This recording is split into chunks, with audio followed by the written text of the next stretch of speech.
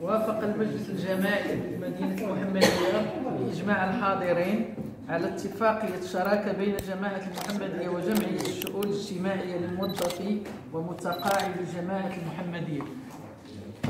شكرا أستاذ نظيم وبهذا اذا كلمة مفتوحه سي حسيب شكرا سي خالد على التتبع ديالكم. اليوم كما حضرتوا معنا كانت اليوم نقطة من جدول الأعمال الدورة ديال المجلس الجماعي. هي تجديد اتفاقية شراكة ما بين المجلس الجماعي وجمعية الشؤون الاجتماعية لمستخدمي ومتقاعدي جماعة المحمدية وهي تتعلق بالمنحة خاصة سنوية وكذلك منحة الحج. منحة الحج. كما تباتوا معنا بأن درنا واحد العرض قدام رئاسة المجلس بأن ال ال بالنسبة للحج ديال 2020 آه، وزارة الأوقاف والشؤون الإسلامية عنت على تاريخ الأداء يوم جوج مارس من هذه السنة وغينتهي في 13 مارس.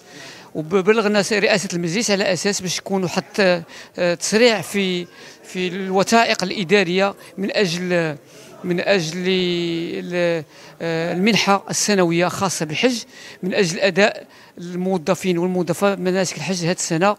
وكذلك بلغنا رئاسة المجلس آه، السكن بدأ تسليم المفاتيح للمستفيدين آه، كما تبعتوا معنا.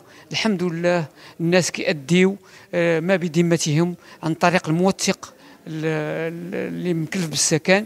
والناس كتسلم مفاتيح السكن وشكرا سي خالد. على ذكر السكن يعني اليوم شفنا واحد آه، الابتهاج من طرف آه، عدد كبير من أعضاء المجلس البلدي بخصوص هذه التجربة آه، الناجحة. يعني كيفاش تقبلتوا هذه الارتسامات هذه وشنو اللي كتزيدكم هذه الارتسامات؟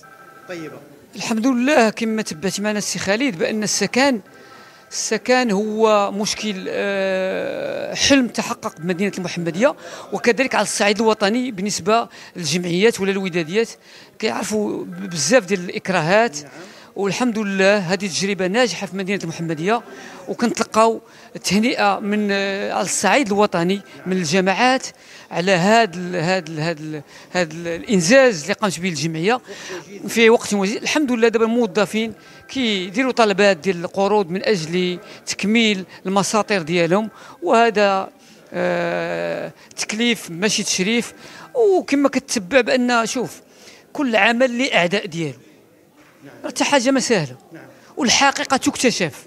ما غنعطيهاش لك أنا الحمد لله كما تبعتي معنا. وحنا مقبلين على ندوة صحفية اللي آه، نجاوبوا على جميع التساؤلات.